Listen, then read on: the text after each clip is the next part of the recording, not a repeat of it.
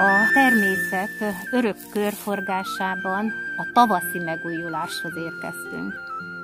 Az esztendő körforgásában pedig a húsvéti ünnepkörhöz, amely a virágvasárnappal kezdődik. Sejmit a barka már kitakarta, sárga virágát bontja a som. Fut, fut az áram a déli sugárban. A barka ág a tavasz első hírnökeként jelenik meg. Ezért az egyházi szokásban a barka szentelés napja van virágvasárnapon. Ezt a barkát hazaviszik, és úgy érzik, hiszik, tudják az emberek, hogy minden bajtól, veszedelemtől megőrzi őket. Máté 21.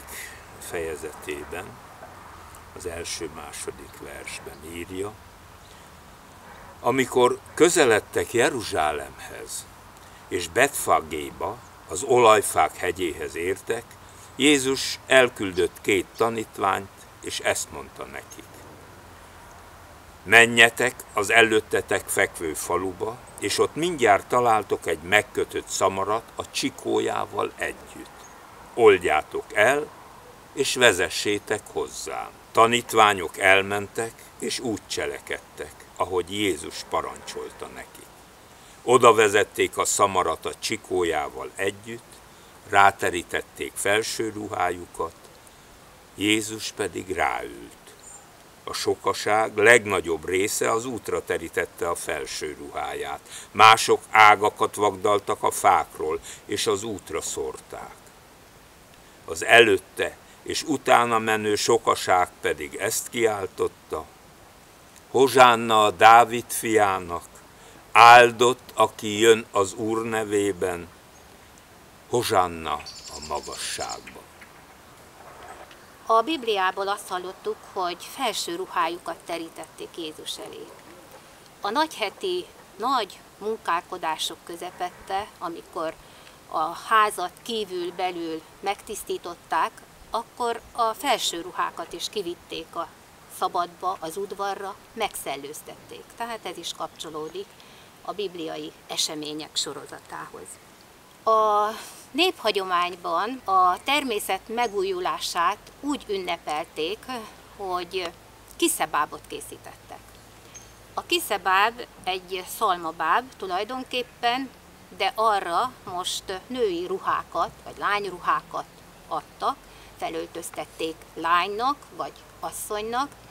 Már említettünk egy, egy szalmabábot a farsangfarkán, azt Farsang Jancsinak nevezték, ez pedig a kiszebáb. Hogy ezt a nevet honnan, honnan kapta? A kisze szóból. A kisze az bőti levest jelent, úgy, mint a cibere.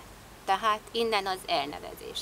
Ezt a kiszebábot végighorták a falun, énekelve, és a falu végén a patakba dobták, hogy vigye el a sok betegséget, a bőti időszakot, a hosszú telet, és jöjjön a tavasz, hozza az egészséget. Itt van az asztalon már a kiszebaba utáni zöldág is, a, a bodza már meghozta a levelét, ezt az ágat vitték be, énekelve, már mindenki örült, hogy ezután már egészség lesz és megújulás. Ha egy gyermekmondókát említek, hogy hajki kisze hajki, jöjj be, sódar, jöjj be, akkor a sódar megütheti a fülünket. Ez a szó azt jelenti, hogy sonka. Tehát a bőti ételek után már nagyon várják a finom húsvéti sonkát az emberek.